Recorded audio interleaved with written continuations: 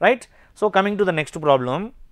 So, let us try to understand a few set of problems which are very important uh, according to our board examination point of view. Those problems are like if pth term of an AP is 1 by q, the question is going to be if pth term of an AP is equal to 1 by q and uh, qth term is equal to 1 by p and qth term is equal to 1 by p, then you need to show that sum of pq terms then show that then show that sum of first pq terms is going to be pq plus 1 by n is going to be pq plus 1 divided by n. So, how is this possible to prove? Sum of first pq terms is going to be pq plus 1 divided by 2 not n this is going to be 2. So, how are you going to prove that SPQ is equal to PQ plus 1 divided by 2? For this see the information given clearly pth term is equal to 1 by q and qth term is equal to 1 by p. So, with the help of this information we can easily figure out what is the first term as well as what is the common difference. After finding the first term and common difference directly you can substitute over there. This is very much clear, but you know you have unknowns all over that is why you feel little difference right. Okay. So, I will just go along with the given information. Let us consider an AP let us consider the first term of an AP because 1 by P, 1 by Q and uh, PQ are there. So, first term can be small a, A1 is equal to A and common difference is going to be small d. The first term here, first thing here given is AP is equal to 1 by Q since AP is equal to 1 by Q. What is AP here?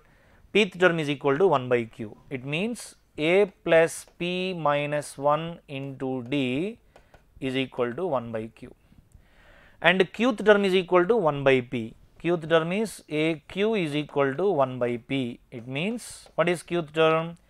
a plus q minus 1 into d is equal to 1 by p. It is understood that you will have to solve this for a and d.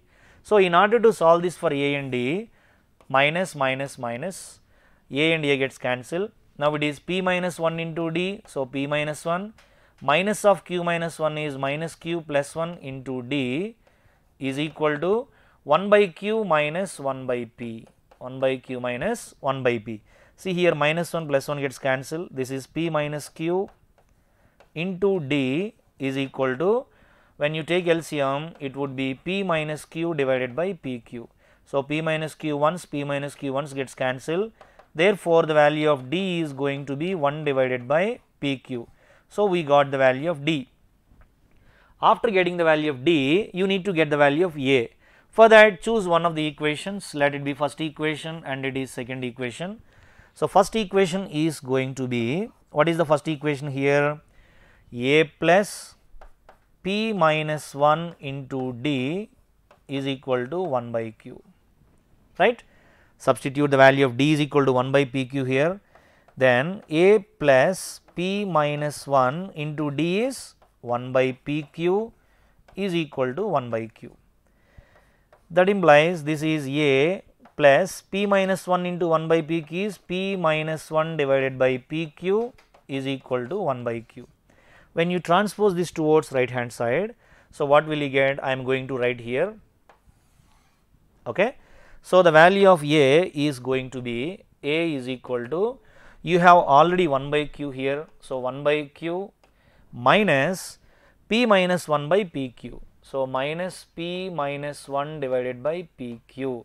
See here this is 1 by q right. So, the LCM is going to be p q, q q cancel remaining p into 1 is p minus p q p q cancel. So, minus p minus of minus 1 plus 1 gets cancelled Therefore, the value of A is equal to also 1 by PQ.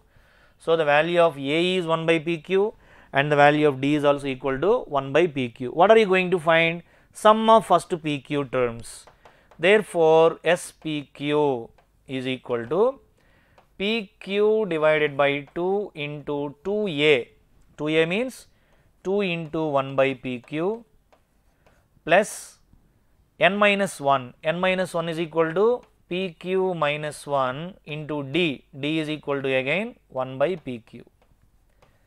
Hope you understand this which is equal to PQ divided by 2 times this is 2 by PQ plus P minus 1 into 1 by PQ. So, that PQ would be the LCM and the numerator is 2 into 1 is equal to 2 plus this is PQ minus 1 right.